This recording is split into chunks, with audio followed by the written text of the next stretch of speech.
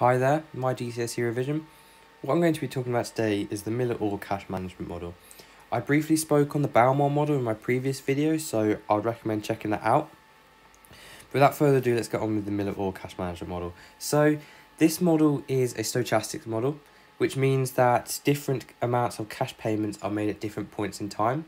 So we're assuming that movements in cash inflows and outflows are random, unlike what we said with the Baumol model, which are fixed. But the Miller-Orr model better represents the dynamic business environment because it's very unlikely to get the same cash inflows and outflows every single month, year on year.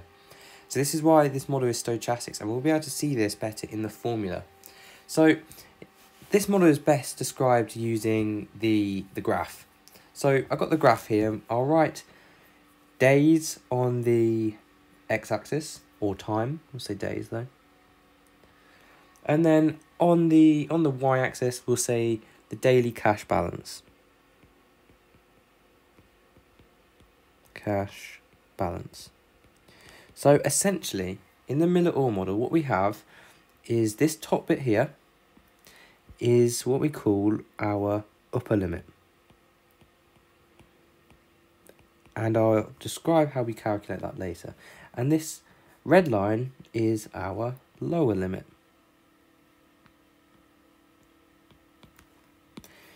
So now that we've got both of those in, this middle bit is called our return point. So this is the optimum cash balance, the cash balance which we want to be kept really. But ideally, it's always going to be kept between the upper limit and lower limit. So I'll, I'll explain what happens. So let's say we are at the at the return point, the cash, the return cash balance. So let's say we receive quite a lot of cash inflows which we weren't expecting. We weren't expecting that. So it keeps on rising, keeps on rising. Maybe have some falls, some drops, but then it reaches our upper limit.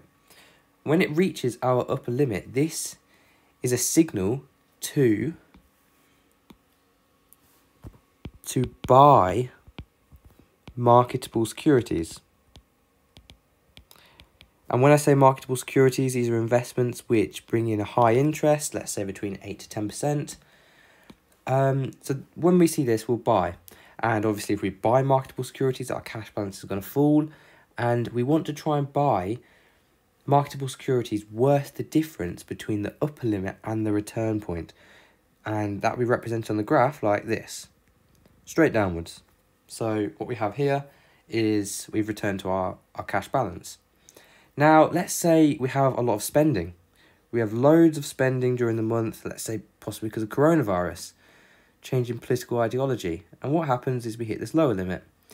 Once again, when we hit this lower limit, we're going to have to sell marketable securities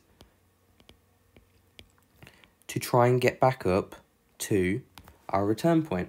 Now, marketable securities are fairly liquid, so we can get our money out really quickly. These things can be stocks, bonds, um, sometimes maybe even property, but that's not as, as liquid. But essentially, we sell marketable securities worth the difference between the return point and the lower limit. And therefore, as you can probably guess, we're going to go straight.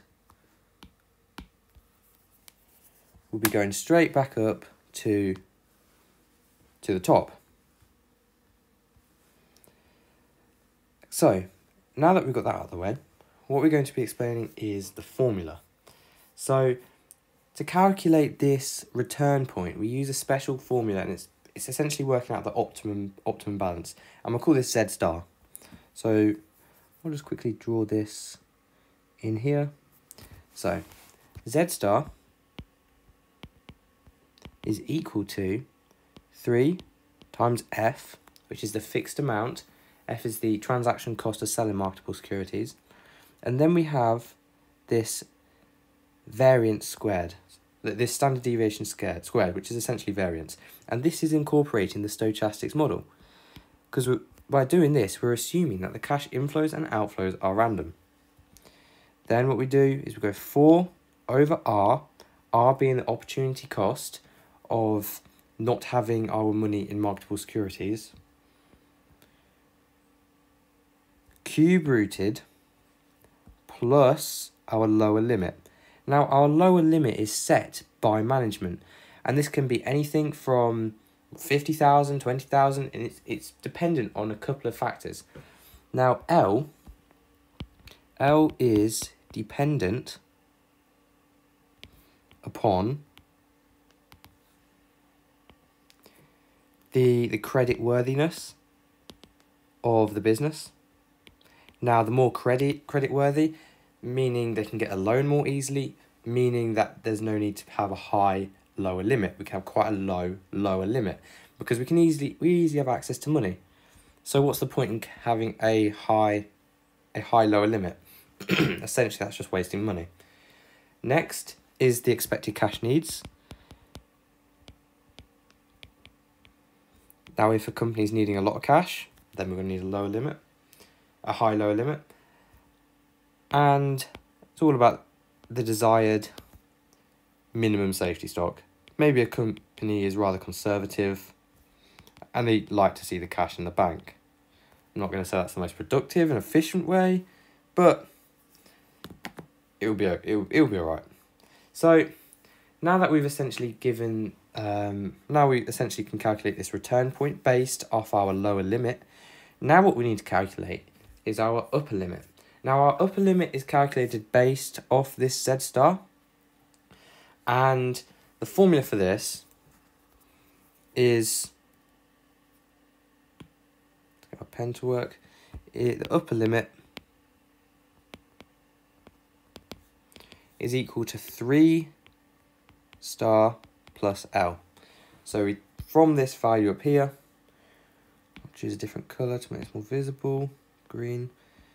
This Z star here is taken from this bit here. And from then we can calculate our upper limit and that's where we buy marketable securities. So that's essentially the Miller-Orr model in a nutshell. And Obviously, with these two models, there are limitations. Yes, there's limitations with the Baumol model, but there can also be limitations with the Miller-Orr model.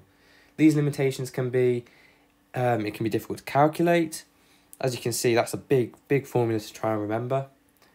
Um, they need to continuously monitor the lower limit, so this return cash balance can constantly change. The reason they need to monitor this lower limit is because um, during times of recession, like the pandemic, they need this extra cash to help them get through, especially during lockdown. We've seen that with Wetherspoons, we've seen that with all sorts of companies, really, Shell. Um, and that, that is it for the Miller, Miller-Orr model. Now, I hope this has been informative and I hope you really understand it. And definitely check out my Baumol model because I show you how to derive the formula. I will be doing another video showing how to derive the formula if you want it. So, thanks for watching. Goodbye.